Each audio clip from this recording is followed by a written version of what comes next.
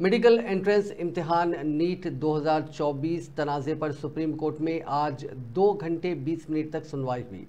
अदालत ने national testing agency को गड़बड़ी से फ़ायदा उठाने वाले उम्मीदवारों की जानकारी देने और सीबीआई को जाँच का अब तक का अपडेट देने को कहा।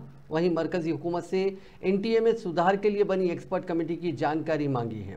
इसके अलावा री एग्ज़ाम की मांग करने वाले पिटिशनर से मैक्सिमम 10 पेज की कॉन्सोलिडेटेड रिपोर्ट मांगी है। कोर्ट ने कहा कि सभी चारशुम्बे की शाम पाँच बजे तक अपने जवाब सौंपे। मामले की अगली सुनवाई अब 11 जुलाई को होगी।